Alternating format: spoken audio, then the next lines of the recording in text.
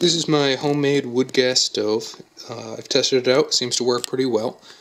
Um, it's made up of three parts. You've got the inner can here with holes on the bottom and top, and then the outer can here. Uh, this is a one quart paint can, and this is just a Progresso soup can uh, that I drilled some holes into. And the way this works is this this can here will uh, sort of clip into the the rim here. I can't really do it one-handed, but it, it really clips in there. It won't go anywhere.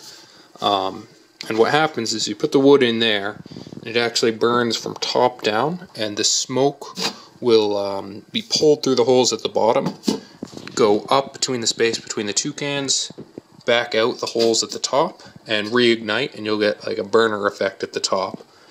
I guess that burns the wood more efficiently, get less smoke, and just works works quite well. And then I've just got a little pot holder that I made from a large tuna can. Uh, pretty simple. Just goes in the top there, and that's all there is. And then storing this, just take this, put there, and then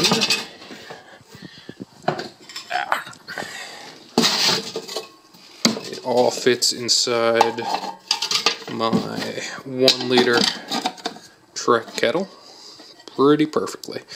And then um, I'll have room for a little homemade alcohol stove as backup and a little bit of fuel in there. So really, I'm very happy with how this turned out.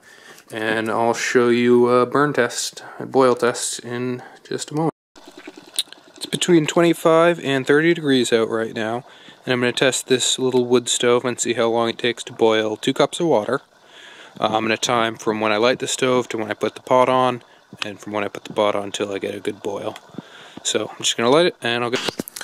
Alright, this is about uh, three minutes after lighting it. It's uh, burning a lot higher than I thought it was gonna.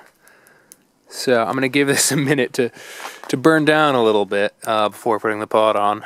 But hopefully you can see, it might be too bright, but a lot of that flame is coming out of the holes, not from the wood. Um, the holes in the inner can where the smoke goes through. Yeah, actually, maybe you can see it from up above. It's, it's pretty cool. But yeah, I'm to put the pot on. It's uh, now 326, and I'm to see how long it takes to boil. Uh, and I'll want to see if I have to add any wood to this to get it up to a boil or if it'll just uh, boil from the initial amount of wood I put in. Alright, so I'll be back in a little bit. Alright, so we're at just over 11 minutes since I started the fire.